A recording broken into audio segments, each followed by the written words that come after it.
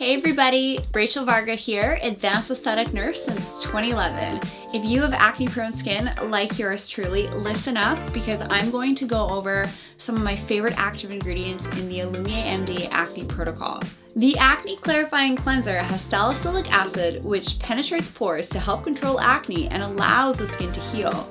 Next up, the Acne Balancing Serum rocks because it contains 2% salicylic acid, again, working synergistically with oligopeptide 10 to help prevent breakouts. Use this one morning and night. The Spot Clearing Lotion is a really fast acting spot treatment with 2.5% benzoyl peroxide. This helps to prevent post-inflammatory hyperpigmentation, which is what causes the redness that persists after breakouts, which are really annoying.